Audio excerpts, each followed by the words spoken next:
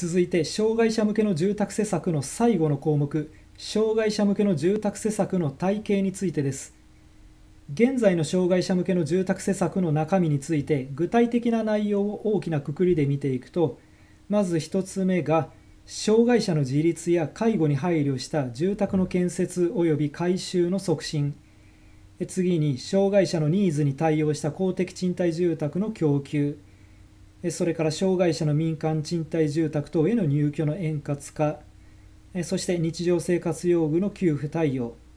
最後は障害者の生活に関連したサービスを備えた住宅の供給と以上5つに分類することができます。それでこの5つの話について上から順に細かいところを見ていくとまず1つ目のところで在宅の障害者で一定の要件を満たした場合に住宅改修に要する一定の費用を市町村が助成する在宅重度障害者住宅改造費助成事業というものがあります。実施条件は市町村ごとに異なりますが事業名にわざわざ重度障害者と書いてあるので身体障害なら1級と2級知的障害の療育手帳であれば A 判定愛護手帳は HA2 が対象ということになりますかね。で精神障害は前にも説明した通り重度の区分はないのでここは各自治体の判断に委ねられるところですが私が調べた範囲でいうと精神障害者は基本対象外でさらに言えば全国的に有名な某政令指定都市でいうと知的障害は除外されていて身体障害だけが対象になっているところもあったりします。えー、それでここに書いてある一定の要件を満たした場合というのはこれはお金に関わることなので一定の所得制限があって支払われる金額も上限があります。あとは回収できる場所についても障害者が居住する住宅の浴室トイレ洗面所台所居室といった日常でよく使う場所に限られています。ちなみにこの在宅重度障害者住宅改造費助成事業は障害福祉施策の概要のところで説明した地域生活支援事業と見比べて話をすると分かりやすくなるかなと思います。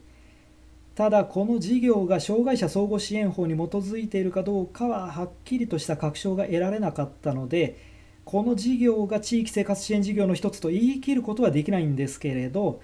ただ内容的には障害者個人に対しての支援で実施主体も市町村さらに実施の有無や実施条件も全て市町村に権限があることからここでいう市町村の任意事業と同じようなものという解釈で差し支えはないのかなと思います。次に2番目の障害者のニーズに対応した公的賃貸住宅の供給ですが公営住宅の入居者の募集は公に行われていて応募者が複数の場合に誰が入居するかは抽選くじという運に左右される形で決められてしまう仕組みになっているのは皆さんもご承知のところだと思います。ただ一般の人なら抽選が当たらなかったとしてもまあ仕方ないとか運がなかったで済む話ですが障害者世帯の場合はなかなかそういうわけにもいかなかったりしますので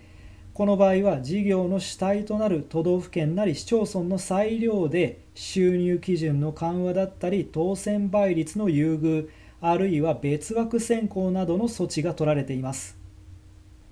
続いて3番と4番ですがこれはもう書いてあることそのまんまでテキストでも特に掘り下げて書いてあることはありませんのでここは省略して最後の5番について少し触れて終わりにしたいと思います。障害者向けの居住系サービスとしては従来はグループホームケアホーム福祉ホームが制度化されていましたが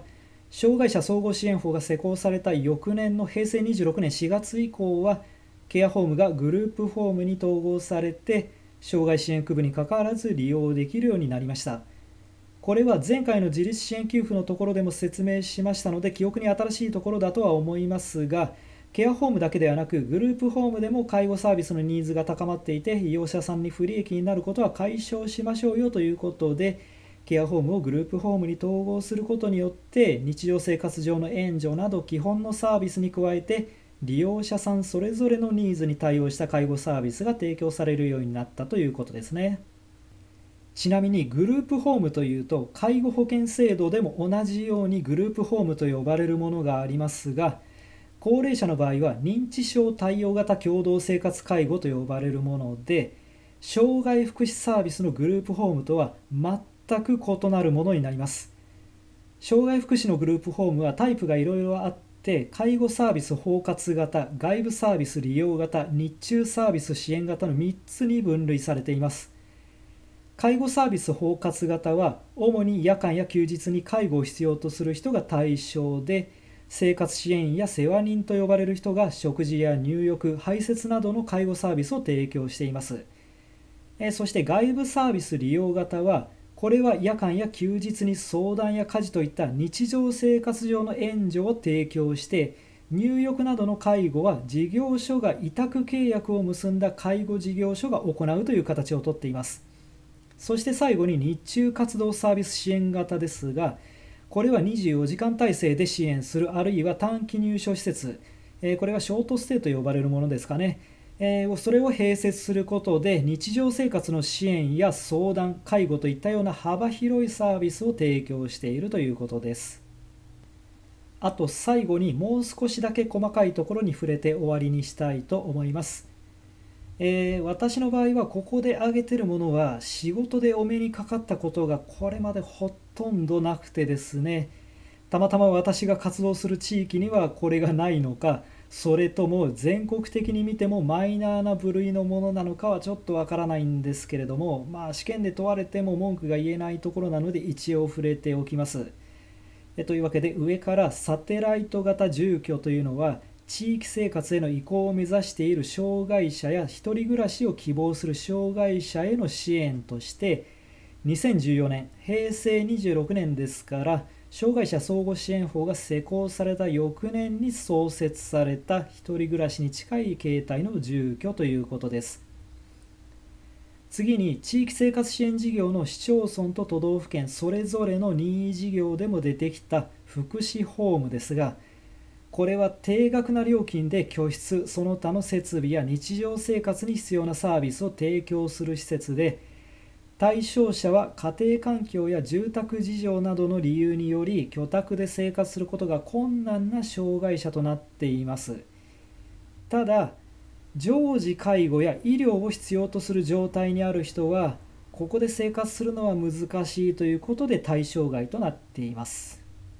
最後にシルバーハウジングですがこれは高齢者向けの住宅施策で出てきた昭和の時代に制度化されたシルバーハウジングプロジェクトによって供給される高齢者向けの賃貸住宅で基本的には60歳以上の高齢者が対象にはなるんですが障害者の単身世帯や障害者とその配偶者からなる世帯なども入居できることになっています。それでこのシルバーハウジングは手すりや段差の解消といったバリアフリー仕様に加えて緊急通報システムなど高齢者の生活特性に配慮した設備が整っているということで場合によってはこういうところにも入居ができるということです。以上3編にわたって障害者向けの住宅施策についてお送りしました。えー、ただぶっちゃけここまで来てもまだテキストの半分にもたどり着いてないのでまあできることならサクサク話を進めていきたいところなんですがただ制度の話ってテキストや参考書に書いてあることだけで話そうとすると中身がスッカスカになっちゃうんですよね。でまあ時間に余裕があって動画を何回リピートしても大丈夫っていう人を対象にするんならそういう動画を作った方が私も楽だしあの再生回数も稼げてお互いウィンウィンな関係にはなれると思うんですけれどただあの YouTube のアナリティクスっていうあのチャンネル解説者だけが見れる分析画面があってそれを見るとですねあの私のチャンネルの視聴者さんの多くは明らかに忙しい世代の人たちに集中してるのでうんやっぱりその人たちの時間を私の動画で必要以上に奪うわけにはいかないなっていう気持ちにはなってしまうんですよね。で1回見たらまあ十分でしょっていうクオリティに仕上げるにはどうしても準備にそれなりの時間を費やすことになってしまってですね、